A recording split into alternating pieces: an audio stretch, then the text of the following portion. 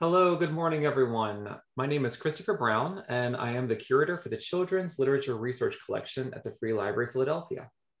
Welcome to Grip, a poem, book, and raven with Marilyn Singer, Edwin Fotheringham, and their new book, A Raven Named Grip, how a bird inspired two famous writers, Charles Dickens and Edgar Allan Poe. Today, we're going to be chatting with Marilyn and Ed, and we're going to be joined by Joe Shemtov from the Free Library's Rare Book Department. Joe is going to introduce us to works inspired by Grip, and we're also going to get a chance to meet Grip, who has resided at the Free Library of Philadelphia since the 1970s. Now, before we begin, I have a little bit of housekeeping to do. This program is co-sponsored by the Children's Literature Research Collection and the Rare Book Department. Our goal is to engage the public through free programs about the importance of primary source materials in our collections expand the knowledge base of our patrons through research support, and foster new ideas through displays and exhibitions. If you'd like to learn more, you can visit us online at freelibrary.org slash CLRC, freelibrary.org slash RBD, and visit our online repository of programs and activities at bit.ly slash fun with FLP spec col. And I'll add all these links into the chat once I'm out of the hot seat. We have a few upcoming and ongoing programs I'd like to mention before we begin. Although the world oceans cover more than 70% of the Earth, over 80% of it remains unexplored. Learn more about this and how we can protect the marine life in the exhibition Under the Sea, now on view at Parkway Central Library until February 25th. It's been 90 years since the crisis of the Great Depression inspired a new deal of arts programs infrastructure investment, and worker protections. But it's not just history. Even today, we ask ourselves, who gets to matter in the United States? Learn more about this in For the Greatest Number, on view at Parkway Central Library until February 4th. And in February, we'll be chatting with Monica Carnesi about her new book, There's a Lion in the Forest. Carnesi's work has been called skillful and ingenious by Kirkus, and There's a Lion in the Forest has already been named a Junior Library Guild selection of 2022. Learn more about the book and Carnesi's storytelling philosophy later in February. But now let's meet our guests. Marilyn Singer has written a lot, including film notes, catalogs, teacher's guides, and poetry. She's published more than 100 books for children and young adults across many genres, including realistic fiction, fantasy, mystery, poetry, and nonfiction.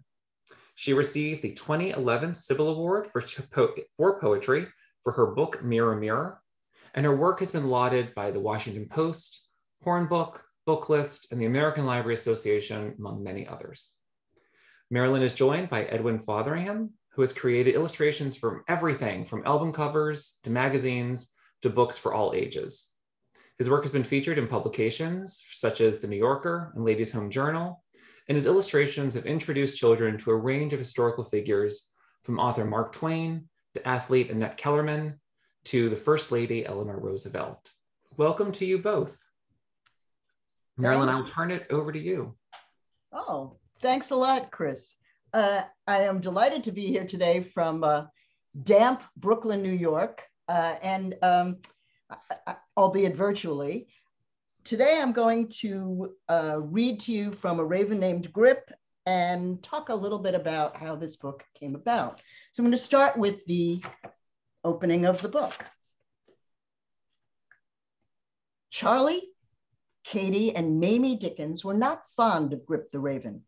The bird chased them around the house. She bit their ankles. She chipped off paint to eat. But the children's father adored the raven he was Charles Dickens, the most famous writer in all of Great Britain. He'd already published four popular novels, first as installments in magazines and then as books. Even Queen Victoria was a big fan. In Victorian England, people had many pets besides cats and dogs, especially birds. Today, it is illegal to keep wild birds, but back then, people caught or purchased them to keep in cages.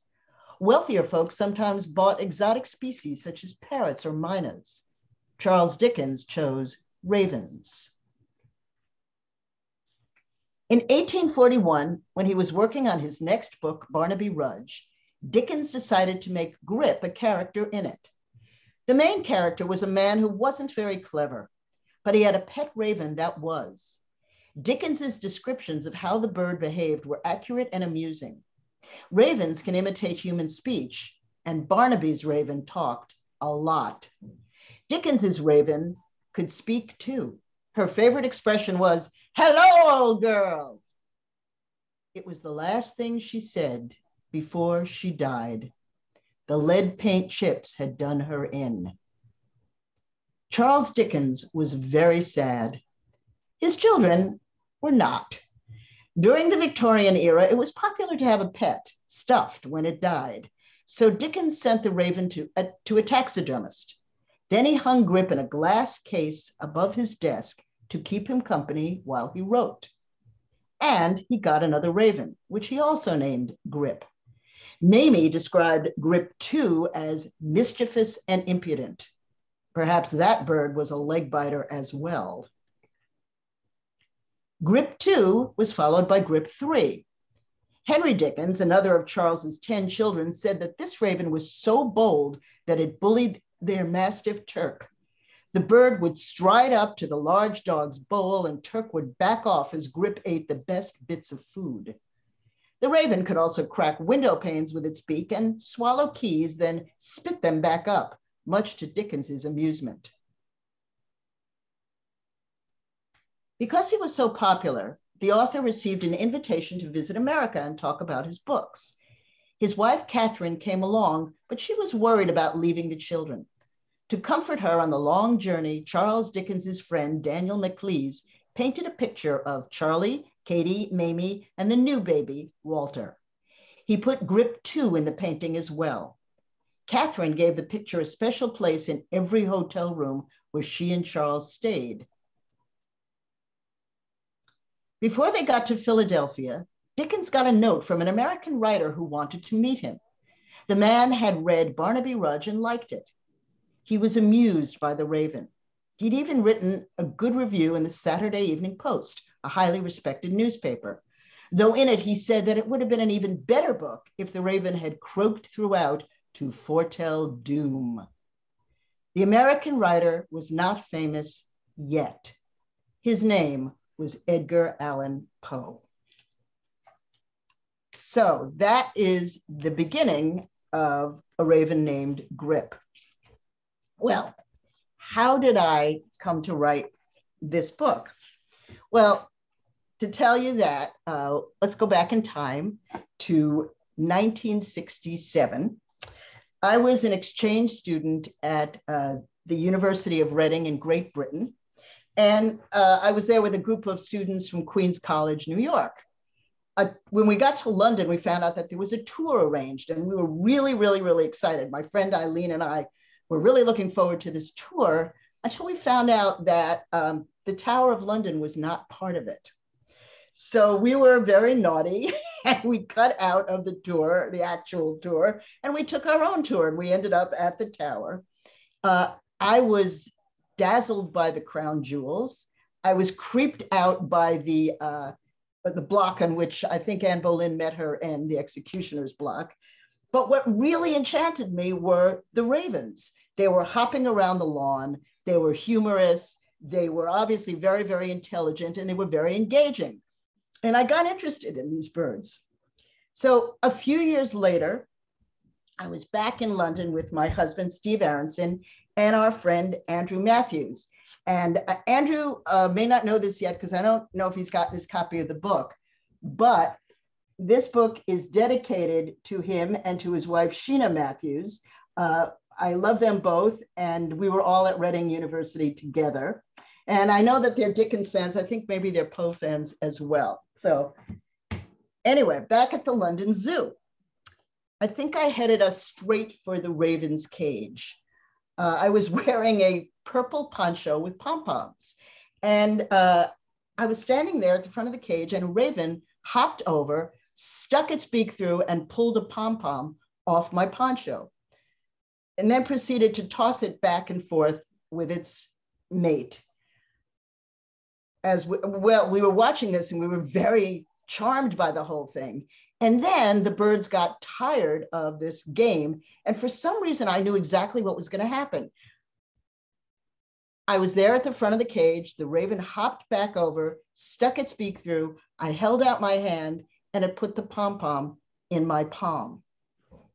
Well, if I wasn't in love with ravens and the whole corvid family before then, corvids are ravens, crows, choughs, rooks, jackdaws, etc. If I wasn't in love with that whole family before then, that was it. That really did it for me, and it and it created a lifelong interest in this whole family, corvids, to the point where I wrote a book of poems about crows.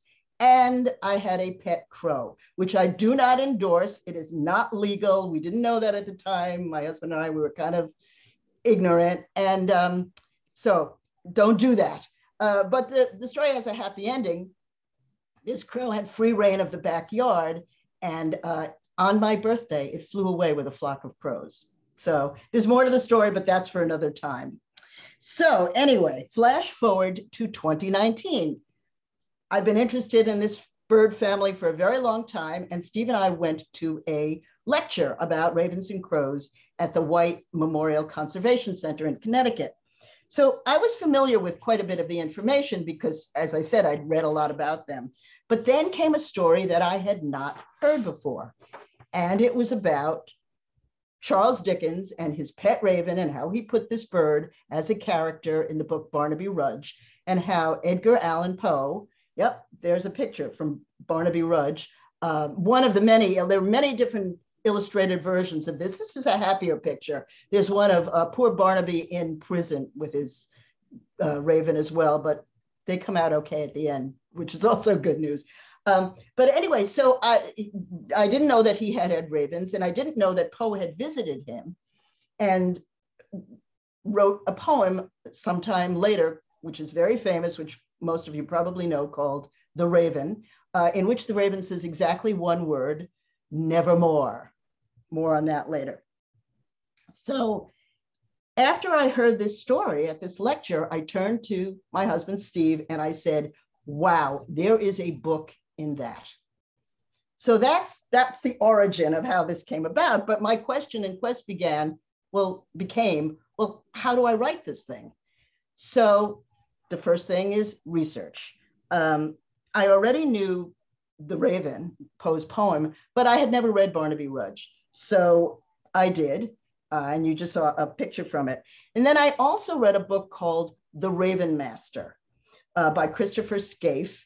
And this is a picture of the actual Raven Master with one of the ravens. I know that he visited the, um, the Free Library of Philadelphia and gave some interesting information, which was also in his book. One of the things that I found out was that Grip 1 was female. Everybody had been calling it he for years, but it turns out that it was a she.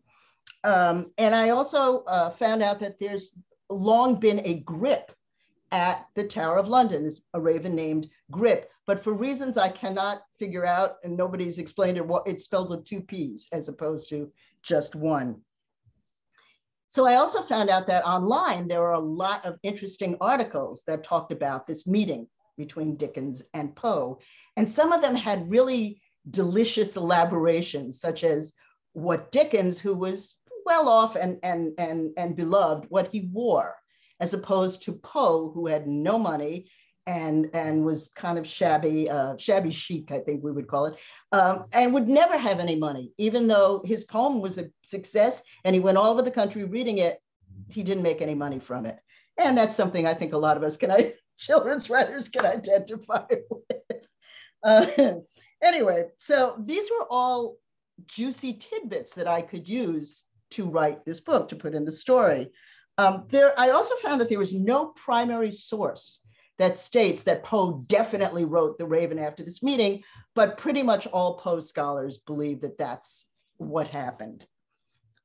And I also found out from this research that Grip is at the Free Library of Philadelphia, something I didn't know beforehand my husband and I were really hoping to come and visit her in person, and then COVID hit. So we hope we will be able to do that sometime in the future, but it's exciting to see her online. So after all this research came the writing. um, I read you the final opening. Uh, that was the final version, but here's how I originally opened the book.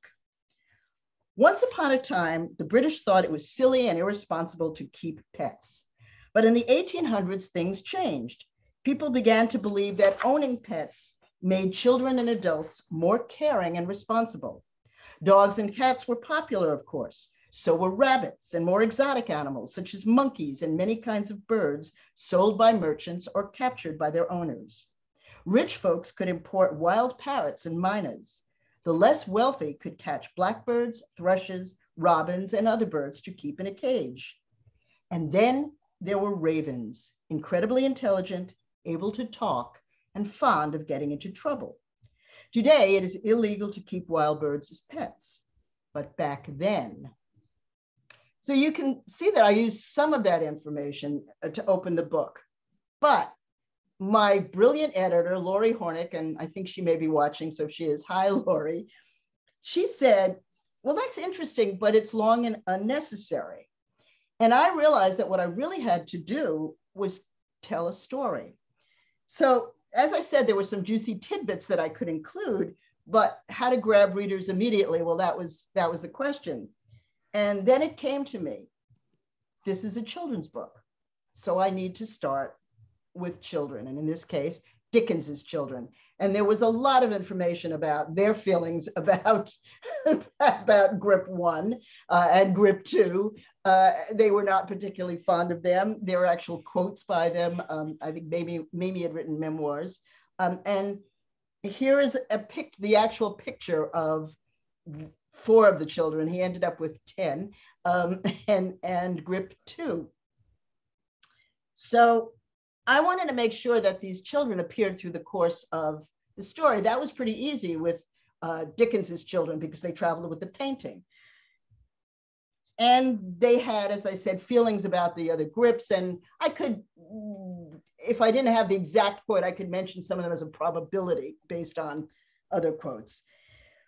But could I somehow feature children in Poe's story as well? So then I came across this amazing morsel, and this is how I put it in the book. Children would follow him in the street, flapping and croaking until the poet would spin around and say, Nevermore. Then the children would run off squealing. Well, that was too perfect. So into the book it went. And to wrap it all up, I had the readers picture grip one in the library, a place frequented by children, and here's how I end the whole book. Today, anyone who visits the library can see the raven who inspired two of the world's best known authors. If you close your eyes, you can picture her chasing Charlie, Katie, and Mamie around the room and biting their ankles while their famous father dreamed up his next book. And you can imagine another group of children flapping and croaking behind a poor and talented poet, then scattering like a flock of birds when he whirled around and spoke the magic word, nevermore.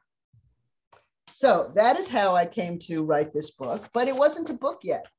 It needed to become truly magical and it needed illustrations. And we got the amazing, brilliant Ed Fotheringham, and I love his illustrations. I'm I am so thrilled with what he did, and he's going to talk to you next about he, how he came to illustrate the book. Hi, um, I'm Ed Fotheringham, and I illustrated a raven named Grip, happily. Um, very glad to have gotten the manuscript. Um, and so, as an illustrator, um, I receive what is an edited manuscript uh, close to final. And, and I feel like my job is to sort of create the box in which this thing lives, in which these words live. So I'm, I'm trying to create a sort of visual package. Um, and for, for this manuscript, I saw a few things happening. I saw um, a sense of time and place. There are several locations that this takes place in. There's London, Boston, Philadelphia, um, all in the Victorian era, mid 1800s. Um, so that was going to speak to how I researched my my my drawings. Um, also, the raven. Um, I didn't know. I mean, I know about crows. I'm in Seattle, Washington. We have a lot of crows around, and seagulls. And um, you know, crows and ravens are from the same family, and, and crows are mischievous birds. And everything I read about ravens is they were also mischievous birds. And so um, if you notice in the book, I'm just going to pull up a page here. I don't actually have a screenshot of it, but I'm just going to show you this. And you'll notice that um, I just thought about this as Marilyn was talking about the mischievous ravens. And I realized that I intently put grins on every single raven in the book. And I don't think ravens can grin, but you know what? That's artistic license. I wanted them to look mischievous. so that is based on, um, well, the reality that they are mischievous birds. And um, I'm going to show you um, some of the process I go through researching for the drawings I make for, well, many books, but this one in particular. Um, so just allow me to share my screen.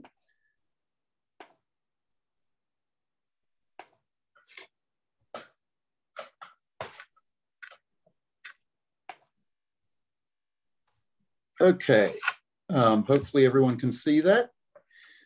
Um, okay, so this is one of the first spreads and you'll see that, you know, this is an interior from uh, Charles Dickens' study.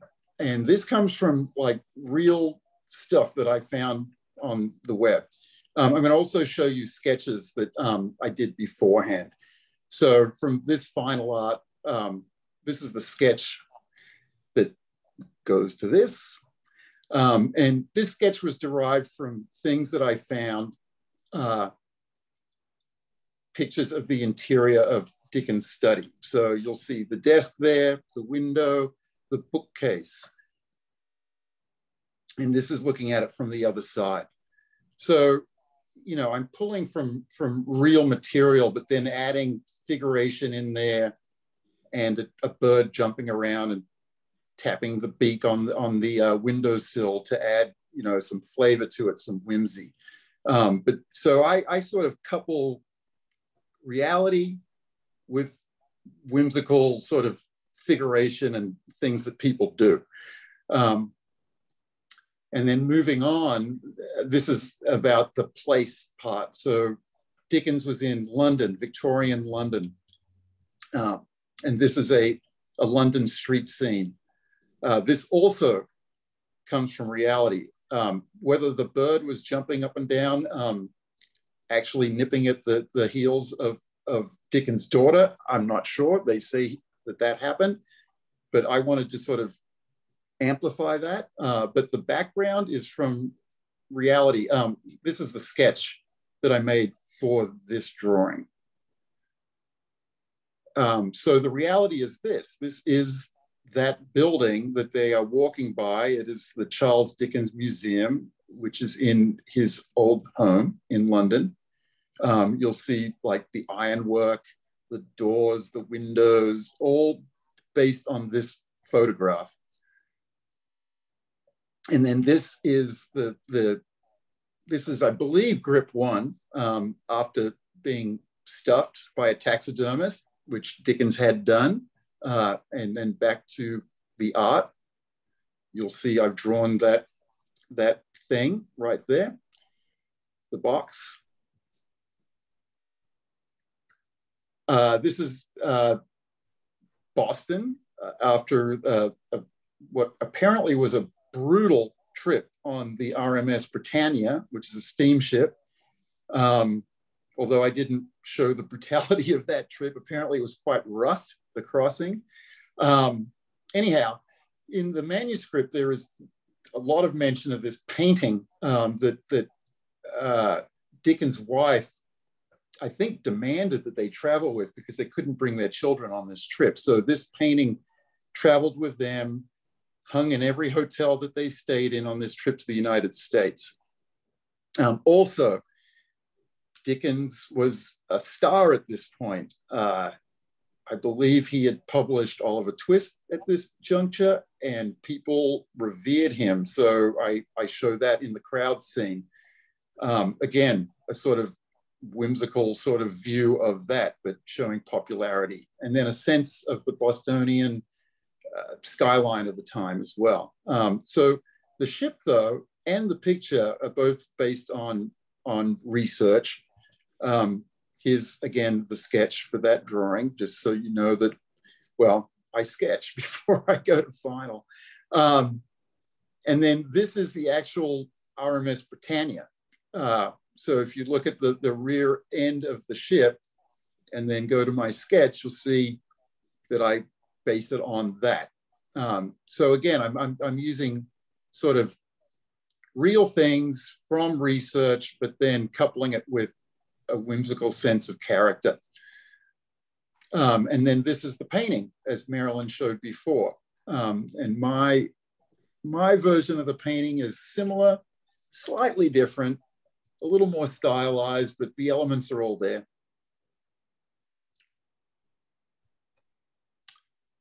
Um, and then this is in Philadelphia. And this is the point at which Edgar Allan Poe uh, curls around and says, nevermore, and much to the children's delight. Um, so the buildings in the background, uh, this being Philadelphia, are based on this, which is uh, Edgar Allan Poe's home in Philadelphia. Um, if I go back, you'll see a similar architectural style based on that time in Philadelphia. But again, with you know, with the the whimsy of the character bringing fun to it, a raven flying in the background, but then the architecture is based on on actual uh, time and place. And then uh, London and Philadelphia. And this is, this is an illustration uh, portraying the, the trip that, that the, the bird made after, uh, I believe his name was Gimbel, who was a big fan of Dickens and a, a wealthy individual that owned department stores in the United States, bought the taxidermied bird, brought it to Philadelphia, and gave it, I believe the story is, gave it to the Philadelphia Free Library, which is where it resides now. Uh, so this is showing that trip from London to Philadelphia. Um, so for Philadelphia, because it's referring to the library, my illustration is of the library. Um, here's a sketch. And here is the library. And so I just basically travel via the internet to all these places to get this information. And uh, it's really fun to do that. Um, just a moment, I am going to stop the share of my screen and come back to you now.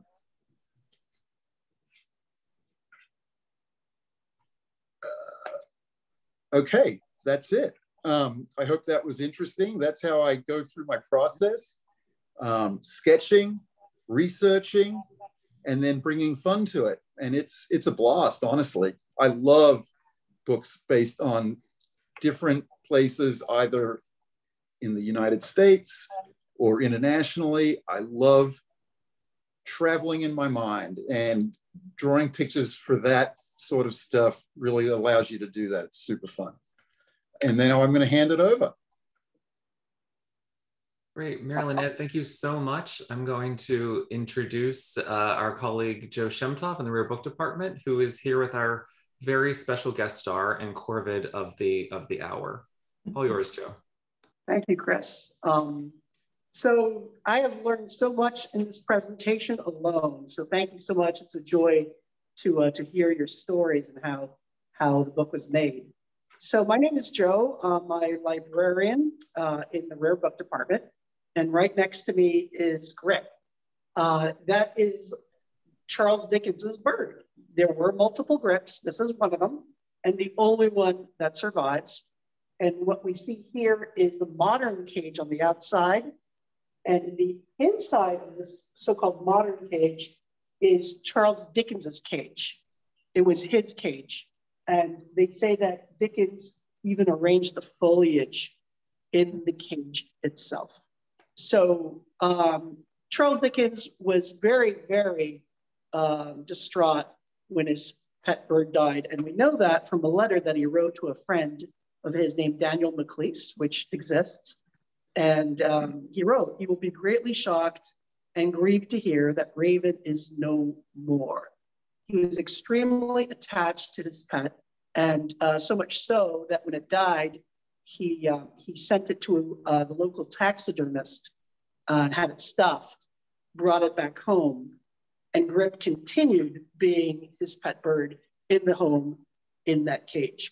So of all the things that we have in the rare book department in Philadelphia, and we have a lot of things for a lot of scholars and a lot of people, the one thing that gets the most straw is this stuffed bird, Grip, that belonged to Charles Dickens.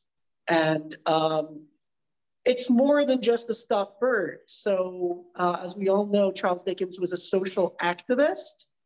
And whether it's through Marilyn's and Ed's book, it's an introduction to Dickens. So we can talk about his love for birds, his humanity, and how that translates to other issues and social issues. And so we had a group, there's gonna be a group, maybe they're here today, uh, from Chester School. Uh, the students had never heard of Charles Dickens, but they were enamored with the bird itself, which still survives. So until today, we are telling stories about Dickens and about what was important to Dickens and how Dickens changed society. And we use this bird as a platform to tell that story. So uh, one thing I will note before we pass on, before I go to uh, Edgar Allan Poe, um, is that in the letter, he says he wasn't sure how, uh, Dickens wasn't sure how uh, Grip died. So we tell the story that it died from eating lead paint, but in the letter to his friend, um, uh, Daniel Maclise, he says, I'm not wholly free from suspicions of poison. A malicious butcher has been heard to say that he would do for him.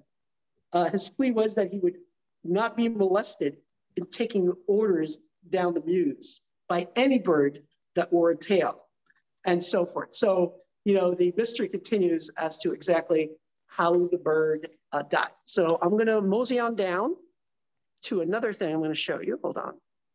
Thanks so much, Joe. We learned so much about this. And Marilyn, Ed, we have a historical mystery that is just crying hmm. out for uh, a follow up of grip two, the grippening, and and what happened to uh, to to the bird. Was it was it murder? Was it not?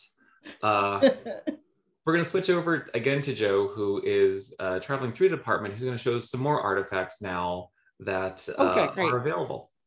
Thanks, Chris. So, in a way, um, um, Barnaby Rudge, and it's not in a way, it is. Barnaby Rudge is not Dickens's most popular book. In fact, it's a dry book. Uh, but in that book, which is a historical novel, uh, uh, partly about the Gordon riots way back, uh, that is the book that features Grip. So Grip, his pet bird, was the inspiration for that character of Grip. So, but but the popularity of this bird, Grip, is because of Edgar Allan Poe. So I'm going to show you a couple of things right now.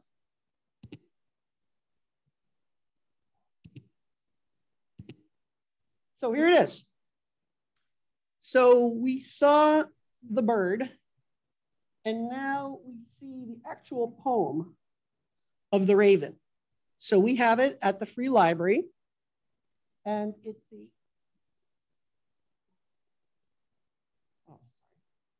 it's the only extant complete copy of the Raven in existence. It's the most um, popular and iconic poem, American poem in existence. And what it is, is it's, I think we call it a bifolium, which is it's one piece of paper. So it's four pages.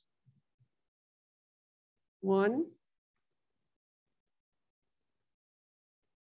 two, three, four. And uh, here he signs the poem and uh, he signs it and he uh, addresses it to his friend, uh, Mr. Whitaker, uh, who lives in Phoenixville, which is uh, not too far away, or it's in, I think it's in Pennsylvania, not too far from Philadelphia. So, and of course, you see Nevermore at the end, uh, the last word written by Poe himself. So this is it. This is the artifact. Uh, this is the inspiration. We have it. We show school children this document. We show professors, scholars. And then I'm going to show you something else. I'm probably going to, before we mosey on down, just show you the first paragraph before we go on.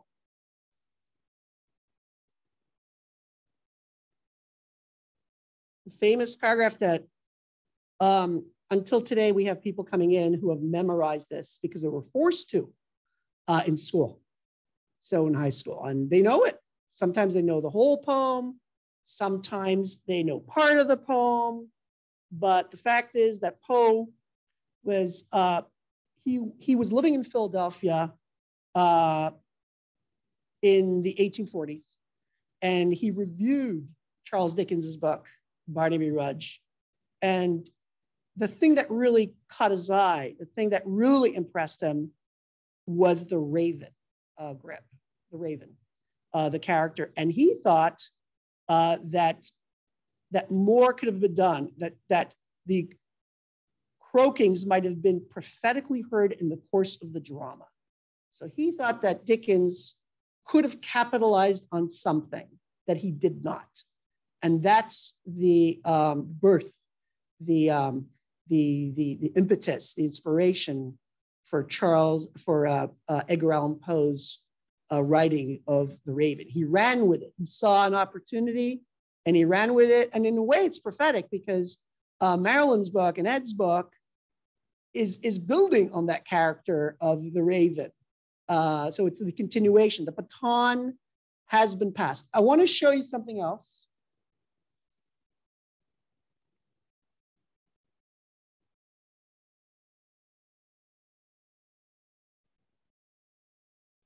So it's kind of a weird reflection, but here you go. Whoop. It's a little crooked, but that's okay. This is called the ultimate, and I'm mispronouncing it. I, I blame it on the fact that I'm Canadian, so I, I mispronounce things all the time. Uh, the ultimate Thule daguerreotype. Uh, so daguerreotype is a technology. Um, precedes photography as we know it. didn't last very long. But it, it, within that kind of format, um, this is one of the most iconic images, even within, within that um, format, and that is Poe's, the picture that we have of Poe. And I wanted to say something about it. When it was taken, and a lot has been written about it, it was taken um, a year after his wife died.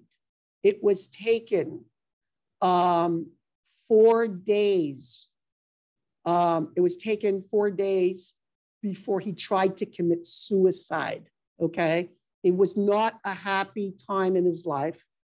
And it was taken um, and, and was given to his um, so called fiance uh, who rejected him. And months after it was taken, uh, he died. Okay, he died. And there's a whole bunch of uh, theories as to why he died. So it's, it's uh, kind of sad. But it's interesting. Imagine if the one picture that you had of yourself defines you and defines how people perceive you. A horrible picture, a picture that you don't want to be represented by, but somehow it becomes the iconic you. It could be the worst, like my bedhead. I wake up in the morning, someone just told me that somebody died, and that picture will define you. And that's kind of what happened to Poe. So that picture kind of defines him in a way. And then you have that um, that um, uh, obituary by his so-called friend Griswold, which maligned him as well. the other thing I will say before I, um, I finish is that um, that Poe was very much aware of the daguerreotype as a technology when he was writing. And so there's a lot of scholarship that has been written about how it impacted his writing, um, daguerreotype photography. And you can point to a difference in that type of, in his writing. So it, it when we talk to students, um, we talk about that. And hopefully that's gonna inspire a future scholar that they're gonna be taught, hey, I wanna talk, I wanna learn about that. Like, did it impact Poe's handwriting? He, he, he knew it. Um, and so um, I wanted to share those, uh, those things with you. And anyone can come and visit the Rare Book Department. We are open Monday through Friday right now, COVID uh, hours, Monday through Friday from nine to five. You can come see the bird and you can make an appointment to see the daguerreotype and make an appointment to see uh, the raven, the poem. But the bird is on display all the time for anybody to see, nine to five, no appointment necessary, just come on by. Joe, thank you so much. You've given us a lot to, to think about and to, to learn about. I've added links into the chat for the general public so they can also view the, the manuscript and the daguerreotype online if they if they want to. I will recommend them. It's always fun to come in and look at things in person.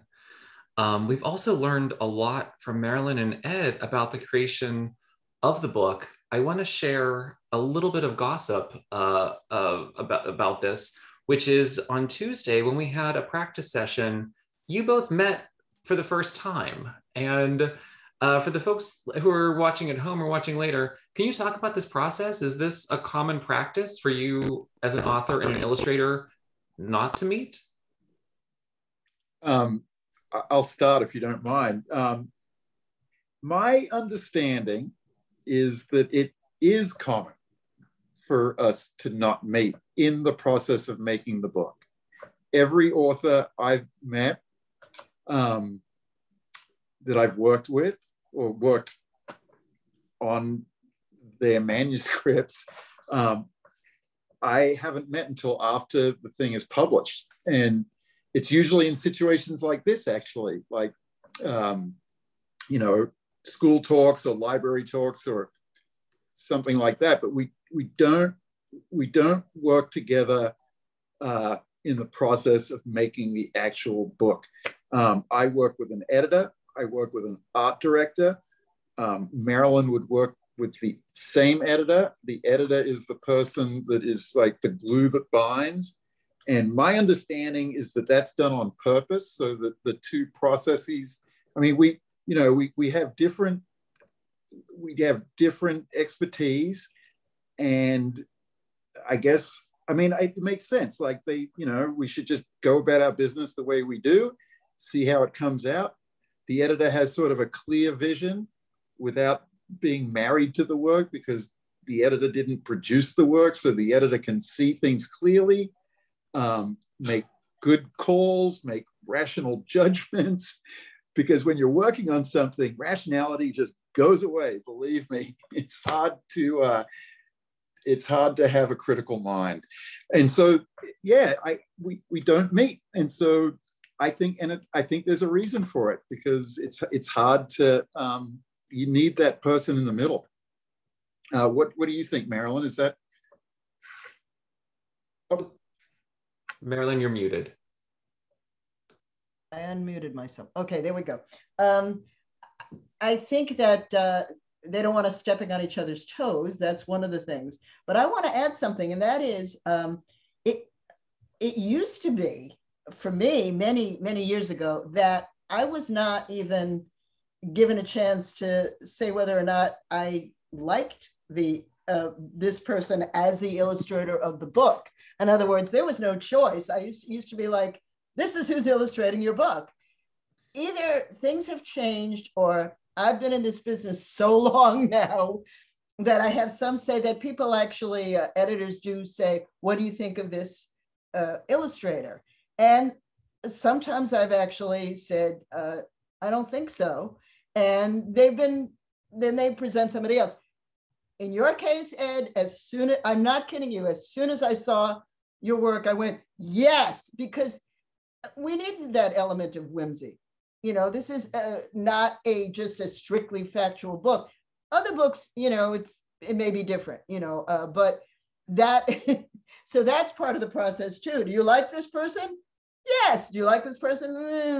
You know, but really, it used to be like this is who's illustrating your book, and that can be difficult. Um, in terms of meeting, doing it, I, I can, I that's fine. You know, I think I'll do my work, you do your work, but I really do like meeting afterwards. And I, I think that that's actually kind of important because then you can share stories and share process and, and it's fun. So I have gotten to meet quite a few illustrators at this point afterwards. And sometimes it's events like this, so we do signings together or uh, even occasionally conferences, which has really been fun also. And there's some I've just never met at all. And, you know, sometimes they don't, they live, you know, internationally and that's, and that's hard, you know, so uh, yeah, so I agree with what you're saying, basically. That's wonderful. I'll mention to the people watching uh, right now live that if you want to ask a question as well, there is a Q&A button down uh, below at the bottom of your bar. Please feel free to write in. Uh, we have one, which is Marilyn, your friends, Andrew and Sheena, thanking you for the dedication. um, it's a nice surprise. Yeah. a lot. And Marilyn, as you mentioned, you were able to look at the artwork and see different styles. But Ed, you have a lot of different styles and, and places you go. I mean, you, you, do a lot of nonfiction and real people, but then you've also brought to life Tony Baloney, who's an amazing character that, that children love. Is it easier doing real people so you have the reference, or do you like the joy of being able to do whatever you want? Um, ooh, that's a tough one. it's not that tough, actually. I'll, I'll be perfectly honest. Um, I became an illustrator because I like deadlines and I like uh, like it gives me a reason to make the work.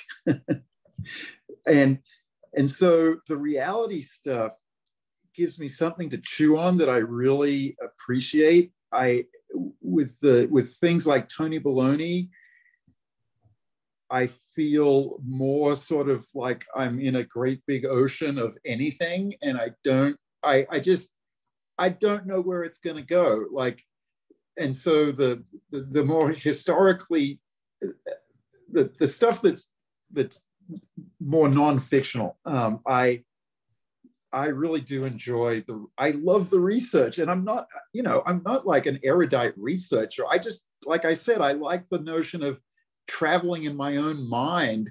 It's like, you know, I, I've, I told my kids when they were growing up, I'm like, you need to eat different kinds of food because it's the cheapest way to travel. when you, you know, you can eat all of these international cuisines in your own home, in your own city. It's amazing. And um, I feel that way about illustrating these books where they, you know, they take me all over the place to places I've never been. And I, I research I look at the place, I look at the geography of the place, I get a sense of the culture of the place. I love it. I just I do and and it's it's like the deadline thing. It just gives me a reason. And so honestly, for me, I kind of I I, I gotta say I I love the non-fictional stuff. Hmm, great. That's a great answer. I was I'm going to turn the question around in a moment, Marilyn, ask you, but I see that Leslie Kay, who's watching us live, has asked me very similar. What is the difference in your writing process when you're doing poetry or prose? Is, poetry or prose, excuse me. Is one faster or easier? What's it like? Oh boy, that's another one of those difficult questions. Um, so when I write poetry, lately I've been writing collections of poems. I mean, I I used to write more individual poems, you know, just for fun, my own edification, whatever. Um, what happens with me is I sort of get an idea in my head of, oh, that would be an interesting topic to write poetry about. And when I once I start that, if I've written like five poems, then I feel like I have a collection going and I become a mad woman in the, and Steve, my husband, will attest to this. He calls it, he goes, You're poetizing again, aren't you? It means I'm sitting there and I'm gazing off into the distance. I will write really, I will write a lot of poems really, really, really, really quickly.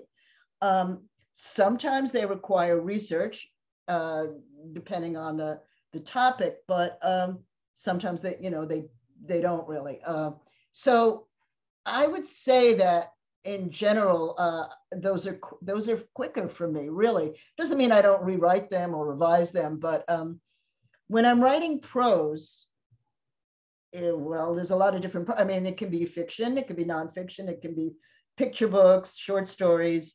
Um, if it's nonfiction, there, that requires a lot of research. So that's going to, you know, uh, that's going to happen before I actually start writing the book. Uh, and I think that that can take a while to really shape nonfiction so that it's interesting and it's not just a bunch of, of facts. Novels, forget it. That takes, I don't even, there are novels that I've written that uh, there's a long gap between starting it and finishing it. So I would say that that poetry definitely goes more quickly for me. Um, it's something I gravitate towards a lot. It's it's very different in that I I, I tend to get a a, a picture, uh, almost a photograph in my in my mind of something. I get an image and I will run with that.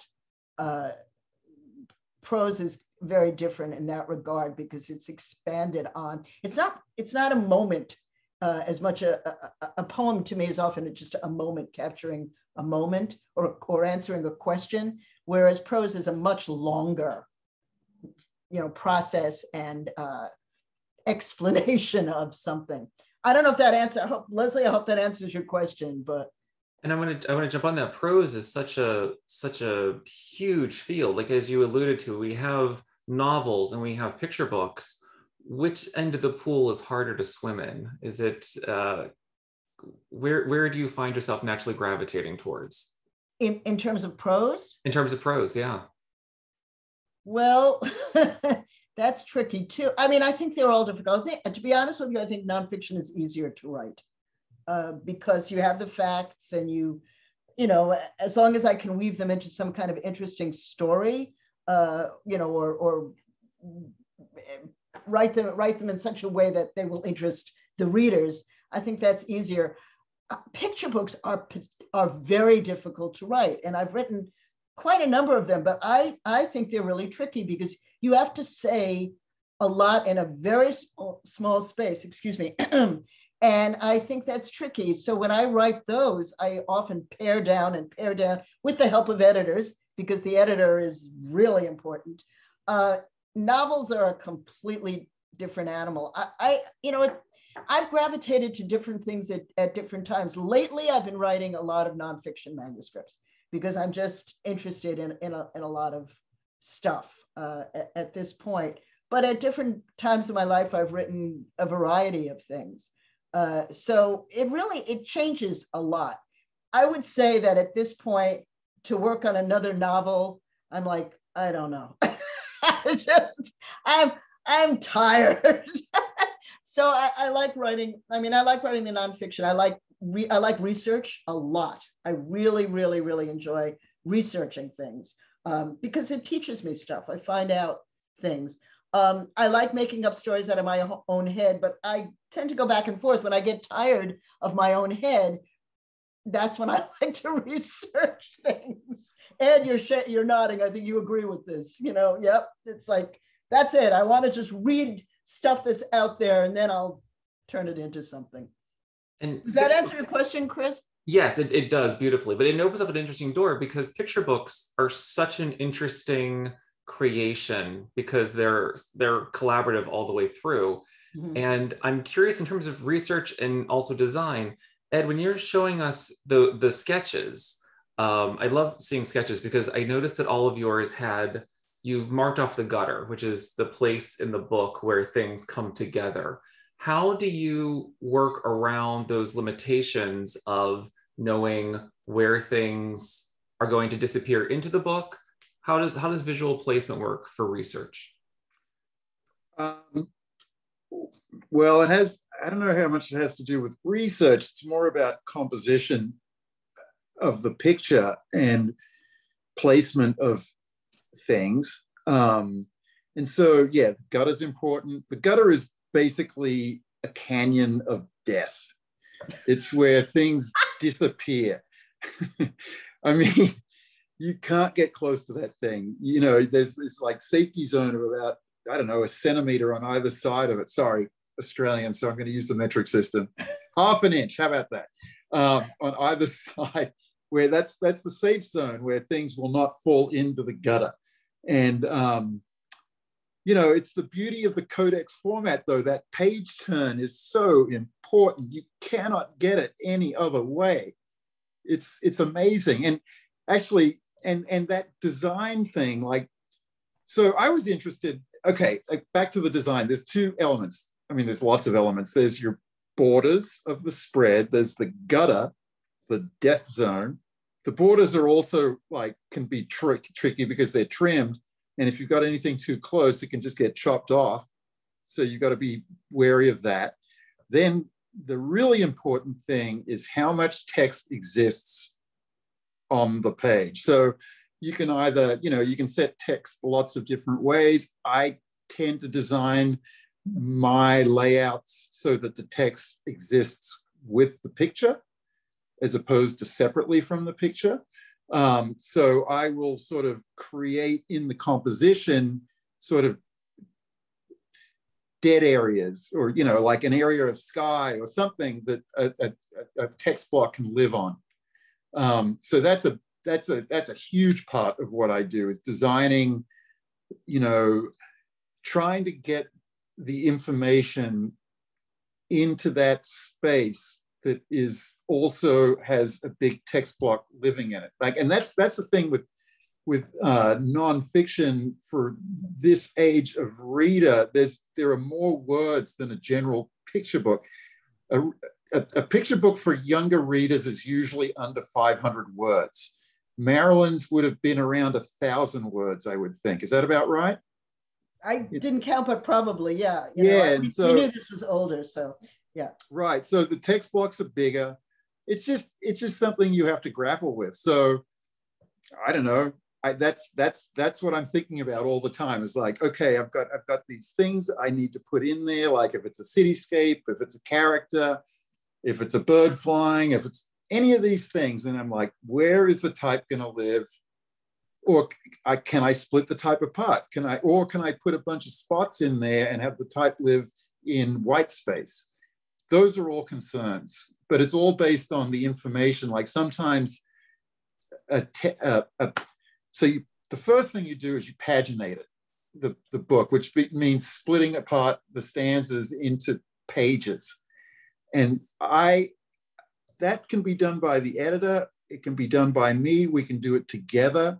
It's based on sort of, it's usually pretty obvious actually where things visually split apart. But then some some pieces of writing, uh, like some stanzas or some paragraphs, will have like sometimes they'll just have say three or four different elements within this, that single paragraph, and that's a point at which I might consider making four different spot illustrations that refer to those elements, and then then the type can be set in the white space because the spots just exist as vignettes and then I have full page spreads. And then I have to make dead areas where the type block lives. And then I might have a single page that, that is full bleed and then a spot on the other page. And then the type might exist below the spot. There, there are all these different light layouts that you can do. And it's, you want it to progress so the people want to pay, like turn the page.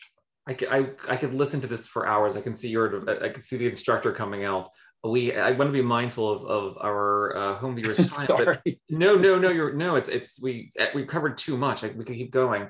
I do have one last question for both of you though. We work very closely at the library with people who want to get into writing and illustrating through the Society of Children's Book Writers and Illustrators. Um, is there a piece of advice that you would give to someone who wants to get into this profession? don't We're both like, don't do it. No. yeah, exactly. oh my god. Um, I mean, I don't, I don't know what it's like for writers, but I, I know as, I mean, I, my personal story is, a, it's a little odd. I think. I mean, I didn't, I didn't look to do children's books. The first book I did was called What to Do About Alice, and I got a phone call, luckily. But it, that phone call had been preceded by years of being a general editorial illustrator doing work for places like the New Yorker and you know various ad campaigns and record covers and all this stuff that you do as a freelance illustrator. And basically, I think for me, it was just being at large in the world of illustration that that got me, gave me the opportunity to do my first children's book, and then I just kept going. So that was that's my story. But I, I don't think that's normal. I think some people just they really want to do children's books. And I don't know what the answer is as an illustrator of how to really go about that besides sending your work to editors, art directors, creative directors at publishing firms. Don't talk to other illustrators. We cannot give you work. Like, we don't make those decisions. But it's like send your work out, you know, look at LinkedIn, see where people work, send them your work. That's that's what I know of. That's how it, that's how you do it. That's great. That's great. Marilyn, I'm putting you in the hot chair. Give, give me some good advice. Well, you know, when I started out, things were a lot different. Uh, this was in the 70s, and you could send your work out to a lot of people. Now, most publishers want you to have an agent. Some don't, but a lot of editors uh, go to conferences and speak at conferences. And at the at these conferences you um, don't you're encouraged to to send your work to the editor. You don't necessarily have to have an agent. But so one of the things i tell people is you really need to go to conferences. Now that's tricky right now because of covid uh, but there are online conferences and presumably there'll be in-person ones so that's one thing. SCBWI is very helpful in terms of, uh, of advice.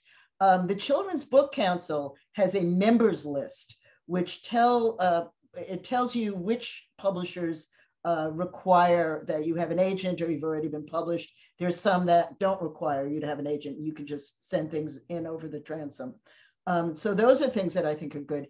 But in terms of the of writing itself, um, I always tell people the same exact thing, and that is to walk around, to listen in on conversations, to use all of your senses, to uh, have a sense of, of wonder about things. I think that's really important. To um, to read a lot, uh, and uh, that's that's basically it. Just uh, don't try to pigeonhole yourself too much and say uh, I'm going to write this because this is the only thing that's selling right now because that changes all the time. So you're, it sounds corny, but you really do have to write what you're interested in. Uh, and but you also have to know that it, it may not sell and or it may sell at another time or you know whatever but but i think it's important to just do what interest you know really really focus on what interests you a lot writing is different i think from uh, illustration in that uh, someone can call you up and say, would you like to illustrate a book about this? It happens occasionally in writing where someone has asked me, would you, would you write a book about this? Um, one example is I was asked to write a book of poems about all of the presidents. And my first response was, no way in hell. I don't, you know, I don't know anything about these people. And I can't do that. And then what happened was I got crazy and I wrote eight poems. And I went, oh, I think maybe I can do this. So sometimes people will ask you to do something, but most of the time that isn't what happens. So it really has to be what, you know, what interests you and what what you want to focus on. You both have inspired one last question uh, from online. I'm going to, it's from an anonymous attendee who wants to know, do you have a dream project? And unfortunately, we're going to have to end it with questions uh, there, but it's a great place to end a dream project that we're working on, a dream project that we would like to work on? Something or... you haven't done yet, but I'll, I'll open it up to, to either. Something I haven't done yet. Oh my God. I don't, I'm blanking out on that. I mean, I there's something that I that I did, which I would love to, you know, somebody to there's a lot of stuff that I've done that I wish somebody would pick up on one day. But I mentioned this earlier. Um, I I did a book on I had a pet starling years ago. It is legal to keep starlings, so uh, they're they're not indigenous. So I had a pet starling, and it was a fascinating bird. And I ended up doing a um, a manuscript on how starlings got to the United States.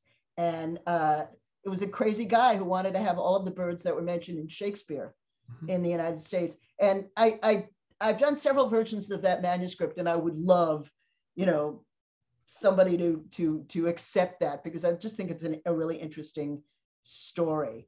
Uh, in terms of something I wish I knew how to write, but I don't. I would love to know how to write a play. I've never written one. I don't know how to write one. I go to the theater a lot, uh, and I think that would be just interesting. But I, so it's a it's a dream that will probably never come true.